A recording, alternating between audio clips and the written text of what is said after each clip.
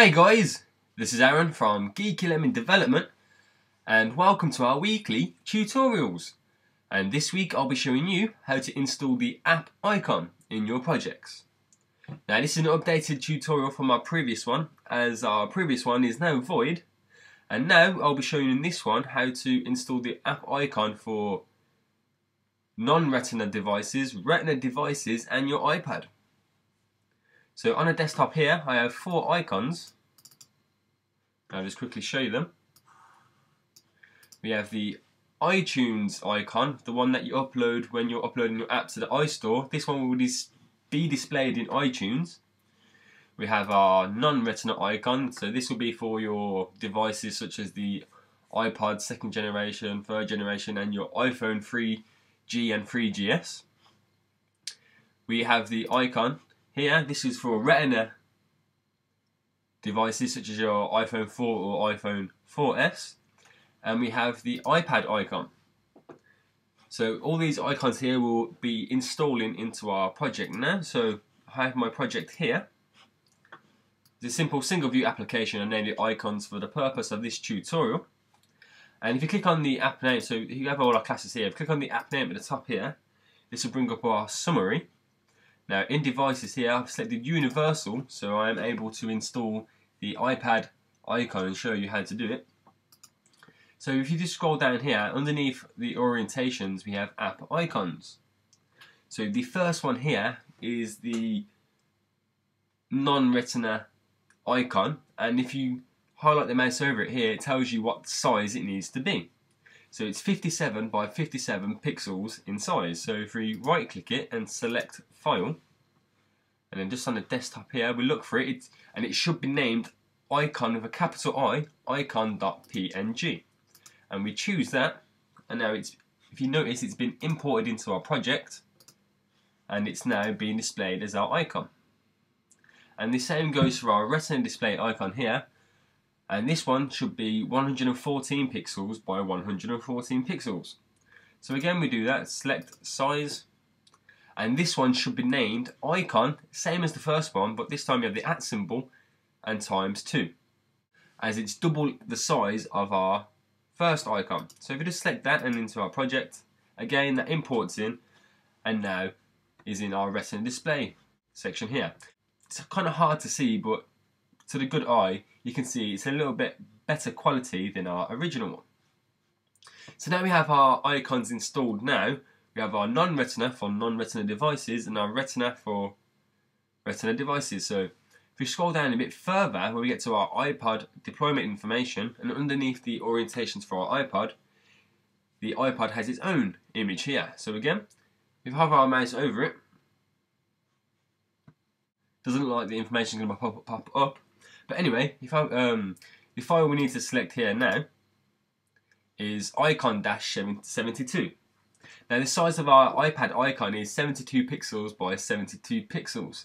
This is kind of in between our non-retina and retina icon for the iPad. So if you just select that now, now that's imported into our project. We have our three icons all imported here and our, in our project here.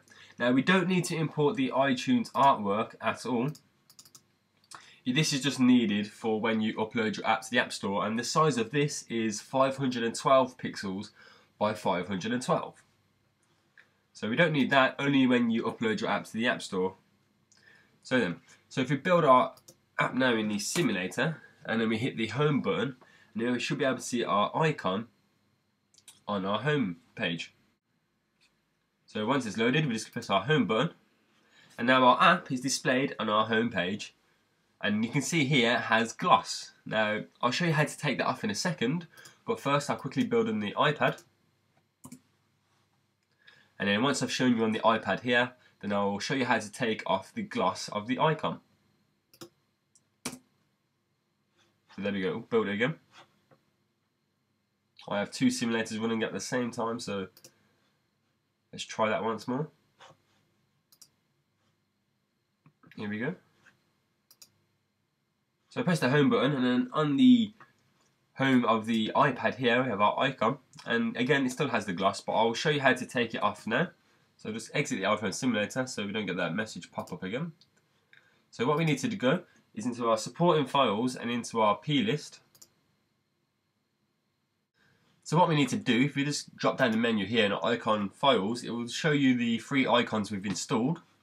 And if you click on the second one here, icon files, and then primary icon, it will say icon already includes gloss effect. And it's, now it's currently on no, which is displaying our gloss effect.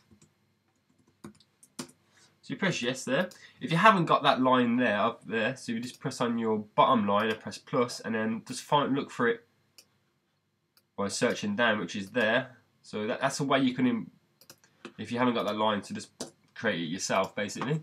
So now once we've got the yes on our icon already includes the gloss effect, this will make your project not put the gloss on, thinking that it already contains it. So if we save that and then go to build,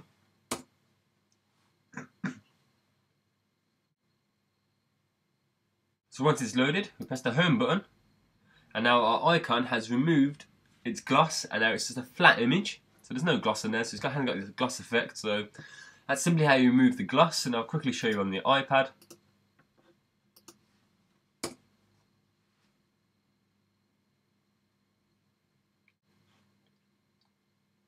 So the iPad simulator is loaded, press the home button and now that has removed its gloss as well. So that's simply how you install app icons for both iPad and iPhone, Retina and non-Retina, and how to remove the gloss. So I hope this helps from our previous version of our app icons tutorial. Make sure you like this video, favourite the video, leave us a comment or send us a message if you want to suggest any tutorials yourself or if you just want to leave us any feedback on how we can improve our tutorials. But make sure you check out the App Store with our all of our apps which are there all the links will be in the description below, as well as links to our Facebook and Twitter. Make sure you like us and follow us. But most importantly, if you haven't, make sure you subscribe and I'll see you all next week in our next tutorial. Hey guys, Aaron here. Please support us by liking us on Facebook, following us on Twitter, and checking out all our apps by simply searching Geeky Lemon on the App Store. And make sure you visit our website where we have a full list and full source code for all our tutorials and visit our blog, forums and all the other great features we have to offer on our website.